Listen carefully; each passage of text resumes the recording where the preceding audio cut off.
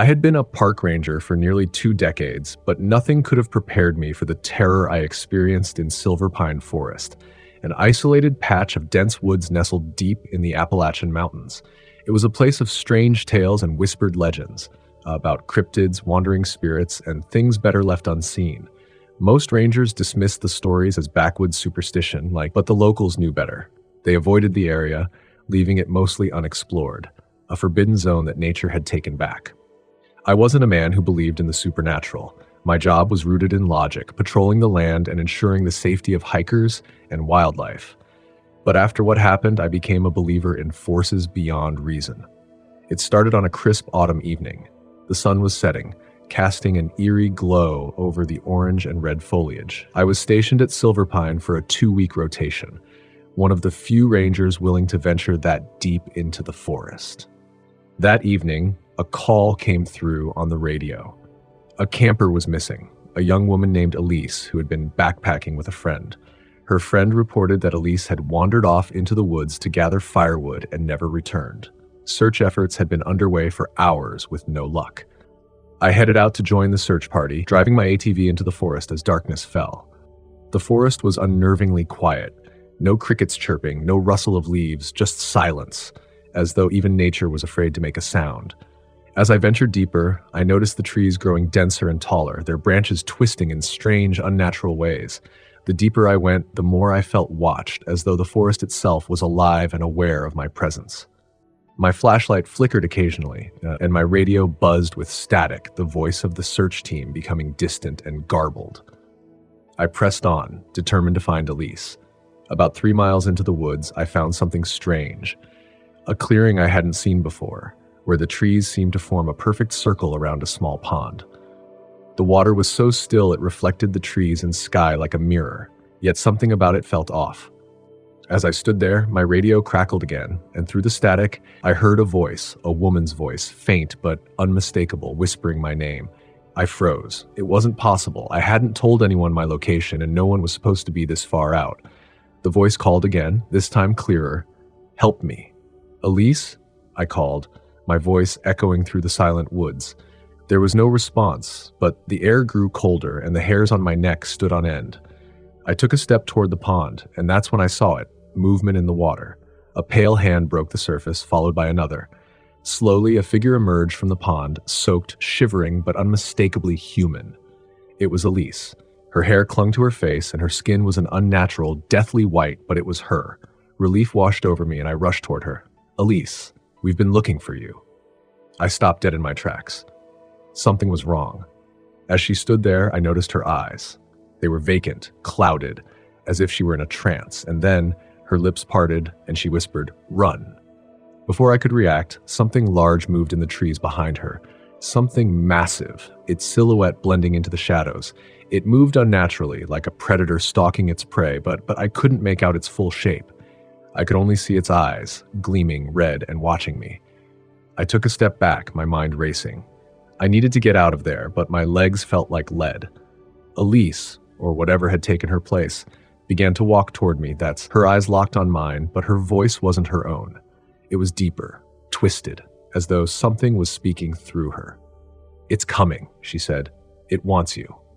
Suddenly, the trees erupted in motion, and the creature lunged out of the shadows. It was unlike anything I had ever seen a massive, hulking form covered in matted fur, with elongated limbs and claws that scraped against the ground as it moved. Its face was a grotesque mix of animal and human features, its mouth filled with rows of sharp teeth. I turned and ran, my heart pounding in my chest.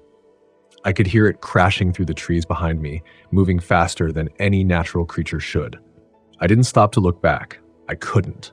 Every fiber of my being screamed that if I looked back, it would be the last thing I ever did. Branches whipped at my face, and my legs burned as I pushed myself to the limit, sprinting blindly through the forest.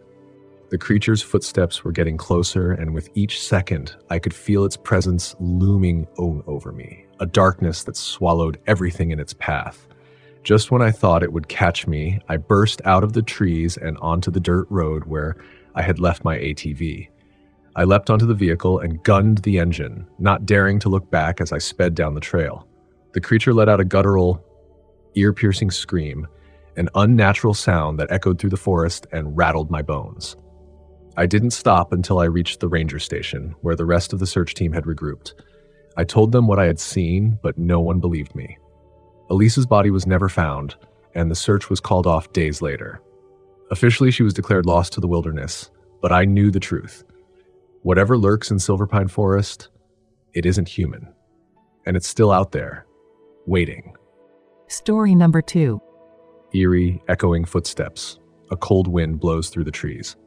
My name is Officer Dan, and I've been a park ranger in Redwood National Park for over 15 years. In that time, I've dealt with poachers, lost hikers, and even the occasional bear encounter. But nothing, nothing prepared me for the events of October 21st, 2017. It started as a normal shift. The sun was just beginning to set, casting long shadows over the dense forest. I was stationed at one of the more remote parts of the park, near an area the locals called the Hollow. It wasn't on any of the official maps, and most of the rangers knew to stay away from it. There were rumors, strange ones, about people going missing, ghost sightings, things like that. We all dismissed it as campfire stories to scare the tourists. That night, I was assigned to patrol near the hollow. I figured I'd get in, do a quick sweep, and head back to the station before it got too dark. But as soon as I entered that part of the forest, something felt off. The air was heavy, thick with an unnatural stillness. No wind, no rustling leaves, just an oppressive quiet. It's the kind of silence that makes you hyper aware of your surroundings. Every twig snap or distant rustle seemed amplified, like the forest itself was holding its breath. I drove my Jeep along the narrow dirt path that wound deeper into the hollow. The deeper I went, the darker it became, even though the sun hadn't fully set yet. The trees grew taller, thicker, their branches intertwining above like a twisted canopy. It was like the light itself was being swallowed by the forest. I stopped the Jeep and decided to walk the rest of the way. Something about driving felt wrong. I grabbed my flashlight, radio, and map and stepped out into the dimming light. The air was colder than it should have been for that time of year. I could see my breath misting in front of me as I started walking. The path narrowed quickly, forcing me to maneuver between the towering trees. My flashlight beam cut through the darkness, illuminating patches of moss covered ground and the occasional gnarled root. After about 20 minutes of walking, I started hearing it footsteps. At first, they were faint, barely audible, as if someone was following me at a distance. But every time I stopped and turned around, the noise would cease. I told myself it was just an animal, maybe a deer or a raccoon. But as I pressed on, the footsteps grew louder, closer, and more deliberate. They weren't the scurrying steps of a small creature. These were heavy, human like footsteps, keeping pace with mine. I gripped my flashlight tighter, scanning the trees behind me. Nothing, just empty forest. But the feeling of being watched wouldn't go away. My radio crackled to life, startling me. It was just static, but the interruption broke the tension for a moment. Dan, you okay out there? The voice of my colleague Randy came through, distorted by the static. I raised the radio to my mouth. Yeah, just doing a sweep. Quiet. Too quiet, Randy replied. You near the hollow? I hesitated. Yeah. Why? Be careful. Something's off with that place. Locals say it's cursed. I laughed, trying to shake off the growing unease. Yeah, I'll keep an eye out for ghosts. Don't joke, man. People vanish out there. Just stay sharp. I clicked the radio off and kept walking, but Randy's warning stuck with me. Vanish? The footsteps had stopped, but the feeling of being watched had only grown stronger. I couldn't shake the sensation that there were eyes on me from all directions, hidden among the trees. As I reached a small clearing, I noticed something strange an old, dilapidated cabin, half hidden by the underbrush. It wasn't on any of the maps, and I had never seen it before. Curious, I approached it cautiously. The door was barely hanging on its hinges, creaking as it swayed in the light breeze. I shone my flashlight through the open doorway, revealing a dark, empty interior. The walls were lined with crude carvings, symbols I didn't recognize. The floor was littered with broken furniture and old, rusted tools. But what caught my eye was a table in the center of the room. On it was a single, tattered journal. I picked it up, flipping through its brittle pages. The handwriting was shaky, frantic, like the author had been writing in a state of panic. Most of it was incoherent rambling about the Watcher and the eyes in the trees, but one passage stuck out. They come at night, just after the sun dips below the horizon. You can hear them. You can feel them. Watching. Waiting. You can't run. You can't hide. They are always there, always waiting, in the shadows. I snapped the journal shut, a chill running down my spine. Suddenly, I heard it again, those footsteps, closer this time, slow, deliberate, coming from just outside the cabin. My flashlight flickered, the beam weakening as the footsteps grew louder. My heart raced. I backed away from the door, my breath catching in my throat. The footsteps stopped. I was frozen, listening. Then, from just outside the window, I saw it a figure standing in the darkness. It was tall, unnaturally tall, its limbs too long, too thin. Its eyes, glowing white, stared directly at me through the window. I stumbled back, tripping over a chair as the thing moved closer, its face pressing against the glass.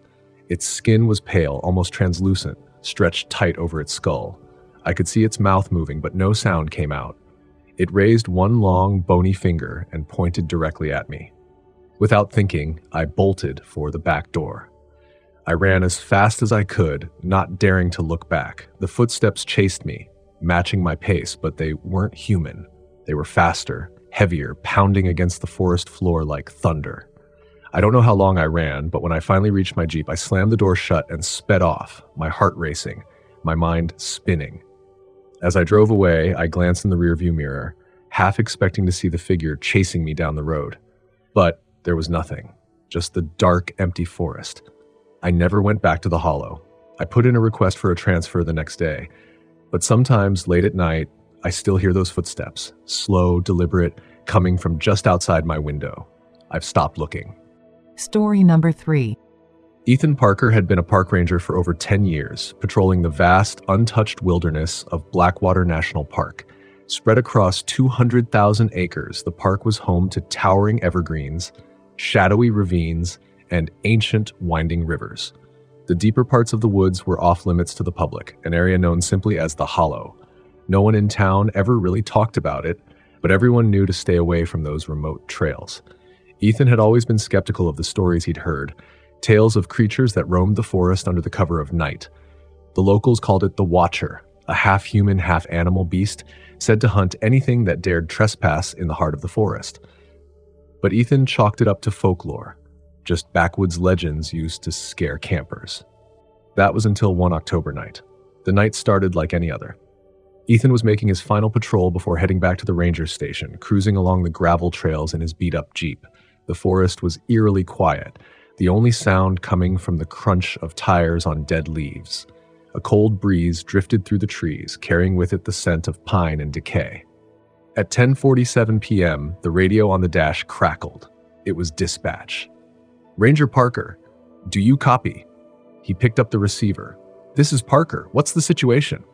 We've got a missing camper reported, woman named Emily Drake. She was last seen around 2 p.m. near Lake Hollow Point. Could be lost. We need you to check the area. Ethan frowned.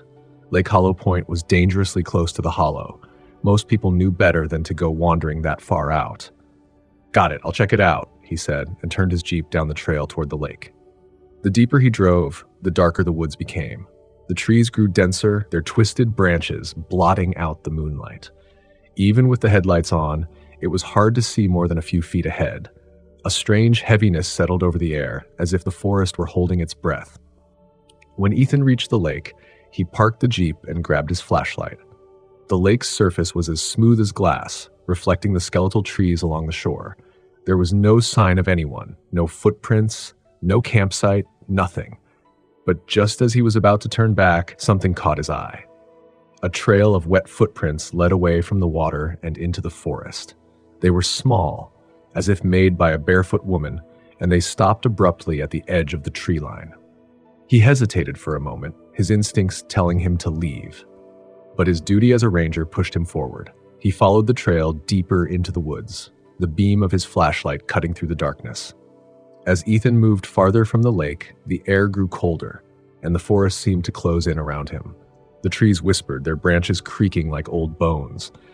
Every so often, he thought he saw movement just beyond the edge of the light, a shadow darting between the trees, too quick to make out. Then the footprints stopped. In their place was something else claw marks, deep and jagged, carved into the dirt. The hair on the back of Ethan's neck stood up. These weren't the tracks of any animal he'd ever seen. The gouges were spaced too far apart, as if made by something that walked on two legs but wasn't human. Suddenly, a low growl echoed through the forest. It was deep, guttural, and unnatural. Ethan spun around, his flashlight shaking in his grip, but there was nothing there. Just trees and shadows. Then he saw it a pair of glowing eyes staring at him from the darkness. Ethan's heart slammed in his chest as the creature stepped into the light. It stood nearly seven feet tall, with a gaunt, twisted body covered in matted fur.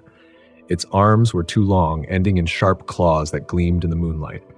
Its face was worse, a distorted blend of human and animal features with sharp teeth that jutted out from a gaping maw. This was the Watcher. Ethan stumbled backward, his mind racing. The stories were true, every single one of them. Before he could react, the creature let out an ear piercing screech and lunged. Ethan barely had time to dive out of the way as its claws slashed the air where he just stood. He hit the ground hard, the flashlight flying from his hand and landing several feet away. He scrambled to his feet and ran. Branches tore at his clothes as he sprinted through the forest, the creature's growls following close behind. He could hear it crashing through the underbrush, its heavy footsteps thudding against the ground. No matter how fast he ran, it was gaining on him.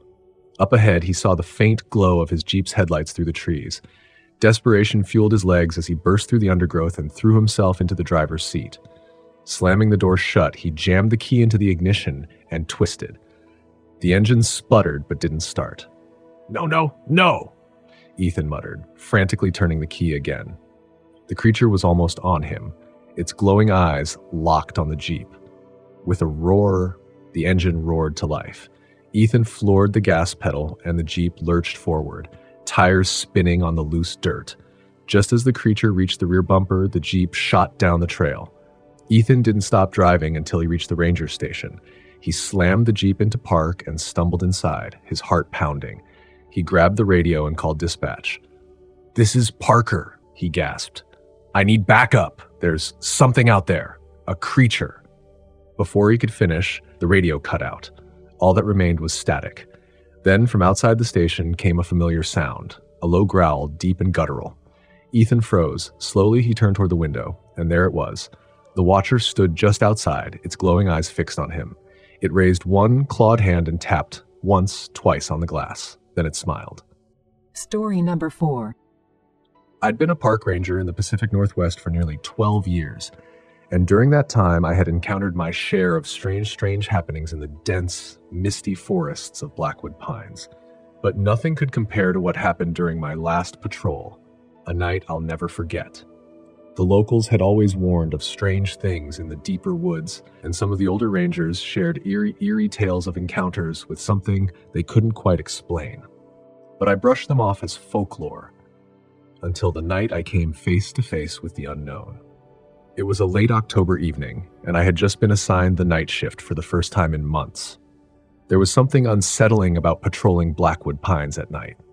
The towering trees, thick with moss and undergrowth, seemed to close in on you, and the fog rolled in so thick that it was almost like the forest was swallowing everything whole. But the worst part was the silence an unnatural stillness where even the wildlife seemed to vanish. I was on my usual route, checking the perimeter near the old logging trails that hadn't been used in decades. The deeper I drove, the thicker the fog became, and soon the world outside my headlights was just a blur of gray. I slowed the truck to a crawl, my eyes darting to the trees as shadows seemed to flicker at the edge of my vision. As I reached a section of the forest known as Raven's Hollow, my radio crackled to life. It was George, another ranger stationed a few miles north. Hey, you out there? His voice was distorted with static. Yeah, just driving through Raven's Hollow. What's up? I responded, feeling a bit of relief at the sound of another voice. I got a weird report from one of the hikers earlier, George said. They said they saw something moving through the trees, something big, thought it might be a bear, but they swore it wasn't. My grip tightened on the wheel. Bears were common in the area, but there was an edge to George's voice that unnerved me. Did they describe it? Not really, just said it felt wrong, like it wasn't supposed to be there. I scoffed, trying to brush off the growing tension. Probably just their imagination. Maybe, George replied. Just be careful out there. The woods feel off tonight. With that, the radio cut off, leaving me alone in the thickening fog. I continued driving, trying to shake off the unease creeping up my spine. But something didn't sit right. The forest felt too quiet, too still. A sudden movement ahead made me slam on the brakes. My headlights illuminated something crossing the road, a large, hulking figure moving quickly into the trees. My heart raced as I stared into the darkness, the fog swirling around the beam of my lights. It had been too fast to make out clearly, but I was certain it wasn't a bear. Grabbing my flashlight and rifle, I stepped out of the truck and walked cautiously toward the spot where I'd seen the figure.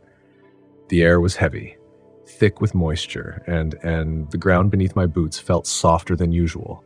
As I approached the tree line, I noticed something strange. The trees were covered in deep claw marks, as though something massive had torn through them. But the spacing was too wide, too unnatural for any known animal. My flashlight flickered, casting long shadows against the trees. The silence was suffocating now, and the feeling of being watched was overwhelming. I swept the beam of light across the undergrowth, my breath fogging in the cool night air. That's when I saw it. At the edge of the light, a pair of eyes, large, glowing, a dull yellow, watched me from the darkness. They blinked slowly, unblinking, as if studying me. I froze, my heart pounding in my chest. The creature was tall, unnaturally so, its shadowy form blending into the trees. It stood on two legs, but its posture was hunched, its limbs long and gaunt. I backed up slowly, my hand gripping the rifle tightly. Whatever this thing was, it wasn't something I had ever seen before. Its eyes followed my every move, glowing eerily in the beam of my flashlight.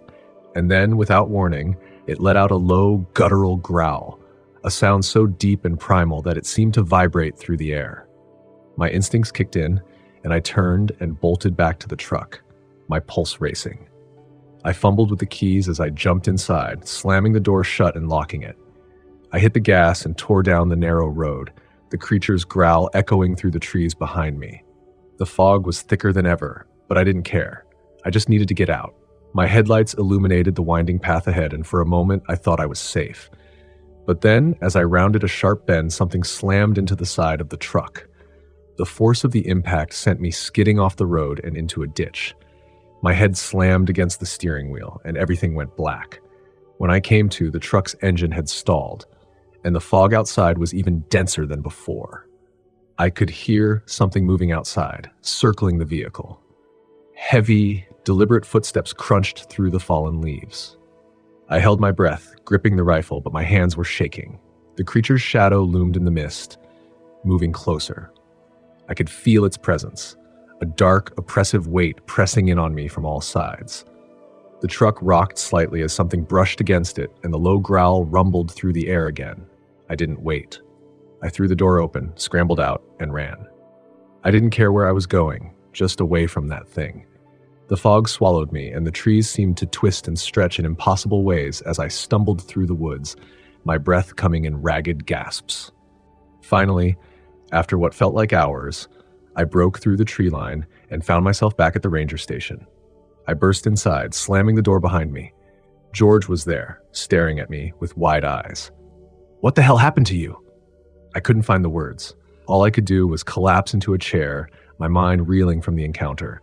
I never went back to Blackwood Pines after that night. I left the job unable to shake the feeling that whatever was out there lurking in the misty woods was still watching, waiting. Story number five. My name is Mike Lanson, a park ranger stationed at Blackwood National Forest, a place known for its sprawling woods, serene lakes, and miles of hiking trails. I've worked there for over a decade, guiding visitors, rescuing lost campers, and making sure the wilderness stays protected. But there's one trail we don't talk about the old logging road deep in the forest, known as the Phantom Trail. No maps show it anymore, and we've made sure the signs pointing toward it are long gone. But sometimes, even without the signs, people find it and that's when things go wrong. It was mid September, right before dusk, when I got the call. A hiker, a man in his 30s, hadn't returned from his hike. His wife reported him missing after he was a few hours overdue. She mentioned that her husband had been fascinated by old trails and hidden paths, the kinds that don't show up in guidebooks. Immediately, my mind went to the Phantom Trail. I tried to brush it off, but the thought stuck like a thorn. I grabbed my gear, a flashlight, my radio, a map of the forest, and my trusty rifle, just in case. I set out toward the direction his wife said they'd been hiking. As I walked deeper into the woods, the sky began to darken, the trees casting long shadows that seemed to stretch endlessly into the underbrush. About an hour in, I found something odd a branch sticking out from the side of the trail, placed almost deliberately to point in a direction off the beaten path. I hesitated, but my gut told me this was the sign. I stepped off the main trail, pushing through the dense undergrowth, the familiar sounds of the forest beginning to fade. As I pressed further, the forest around me seemed to change. The trees grew gnarled and twisted, their branches forming strange, claw like shapes against the darkening sky. The air grew colder, and the forest, which should have been filled with the sounds of crickets and owls at this time of night, was dead silent. It was like stepping into another world entirely. Eventually, I stumbled upon it the Phantom Trail. It looked exactly as I remembered from the last time I dared come here, years ago. The path was narrow, overgrown, and lined with old, crumbling stone markers that had been long forgotten. The trees along the path were blackened, their bark charred as if from a fire, though no fires had ever been reported in this area.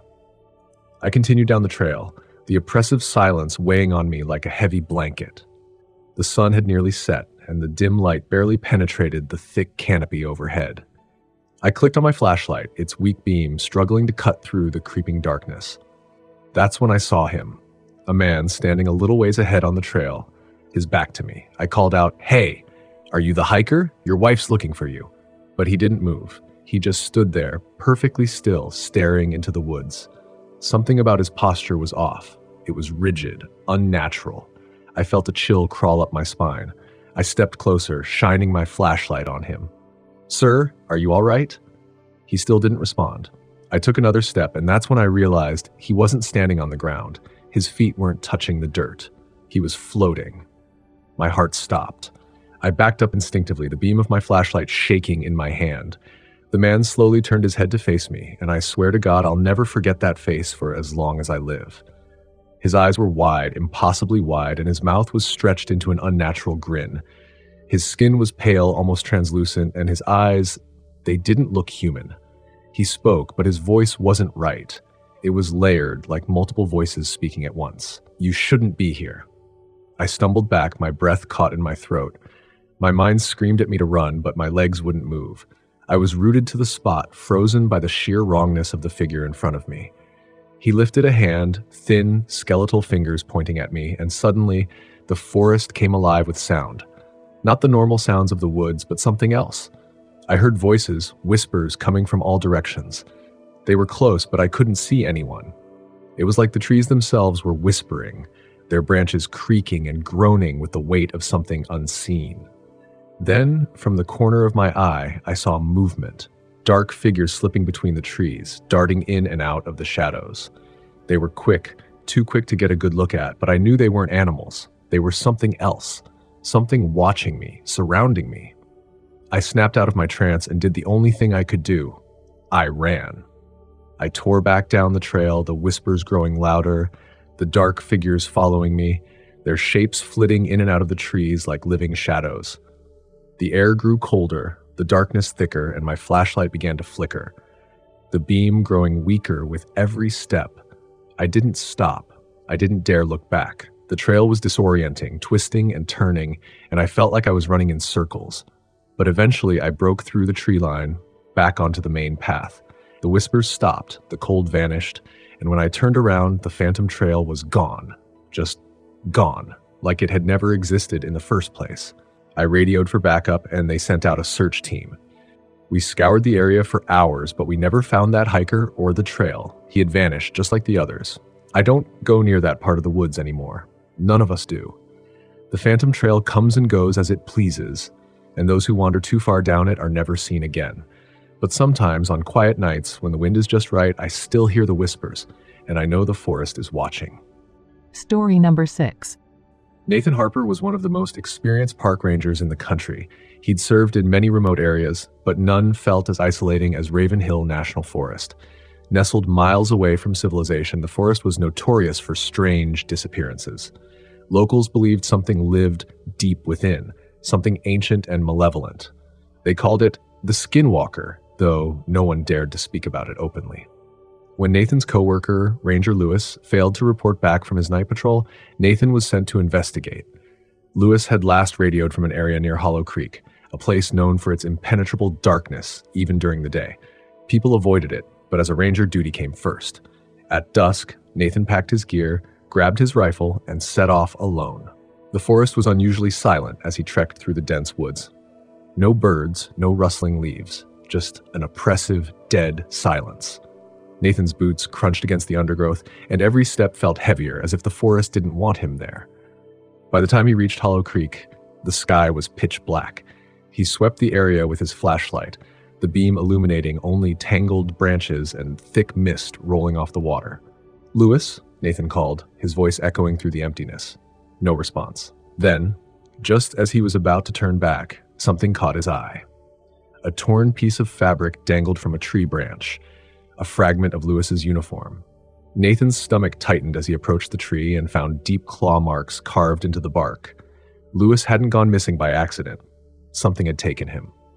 Nathan followed a trail of disturbed earth and broken branches leading deeper into the woods. His flashlight flickered, and for a brief second, he thought he saw movement ahead. Something large, walking upright, but it vanished into the trees before he could get a good look. The trail ended abruptly at a shallow clearing. In the center lay a mangled, bloodied ranger hat. Nathan knelt beside it, his heart racing. This was Lewis's. Suddenly, a strange sound broke the silence, a low, guttural mimic of human speech. Nathan! Naathan! His blood turned cold. Whatever made that sound was no person. It was a grotesque mockery, like a predator practicing human language. Nathan slowly stood and aimed his flashlight toward the source of the voice. That's when he saw it something standing just beyond the edge of the clearing, half hidden in the shadows. It looked almost human. Almost. Its limbs were too long, its skin stretched unnaturally tight across its bones. Dark, sunken eyes gleamed back at him, and its jaw was slightly unhinged as if grinning. And it wore Lewis's face, or something pretending to be him. Nathan took a step back, his breath shallow and quick. The creature tilted its head, mimicking the gesture like a curious animal. Then it spoke again, but this time in Lewis's voice, perfectly imitated. Help me, Nathan. Please. The thing stepped into the clearing, revealing the rest of its body, gaunt and twisted, with patches of fur and claws too large for its hands. It was wearing pieces of Lewis's uniform, as if it had dressed itself in his skin and clothes. Nathan raised his rifle, hands trembling. What the hell are you? he whispered. The creature smiled wider, and its voice shifted, First Lewis's, then Nathan's own voice, spoken back to him in an eerie, mocking tone. What the hell are you? It took another step closer. Nathan fired. The shot rang out through the forest, the echo lingering in the still air. The bullet hit the creature square in the chest, but it didn't fall. Instead, it stumbled back as if the impact was more of an annoyance than a wound. It straightened its spine, and Nathan swore it looked amused. Then it began to change, its limbs cracked and twisted, lengthening unnaturally. Its skin rippled as if something beneath it was shifting, struggling to break free. And then it ran. The creature moved so fast Nathan barely had time to react. He turned and sprinted through the woods, crashing through branches and underbrush, his flashlight bouncing wildly. The thing chased after him, its footsteps unnervingly quiet, as if it floated through the trees. Nathan's lungs burned and his legs screamed for rest, but he couldn't stop. He knew if he did, it would catch him, and there would be nothing left of him but a shell for the creature to wear. He spotted a ranger outpost up ahead, its windows glowing faintly in the dark. Fueled by desperation, Nathan burst through the door and slammed it shut behind him. He locked the door, breathing heavily, and slumped against the wall. For a moment, everything was still. Then came the tapping, soft, deliberate taps on the window. Nathan slowly turned his head. The creature was there, standing just outside, staring in at him. It raised one clawed hand and pressed it against the glass, and then it smiled. It didn't try to break in. It didn't need to. The message was clear. It knew where he was, and it was only a matter of time. Nathan backed away from the window, trembling. He grabbed the radio from the desk and tried to call for help, but all he got was static the creature stood perfectly still, watching him with those empty, sunken eyes. Then it whispered through the glass in Lewis's voice. You'll be next, Nathan. Nathan sat down in the corner of the outpost, rifle in hand, and waited. Hours passed, but the creature never moved from the window. It stood there, patient, as if it enjoyed watching him squirm. The first rays of sunlight finally crept over the treetops. When the light hit the window, the creature gave one last smile and slinked back into the woods, vanishing into the shadows. Nathan knew it wasn't gone. Not really. It would be waiting for him, deep in the woods, where no one would hear him scream.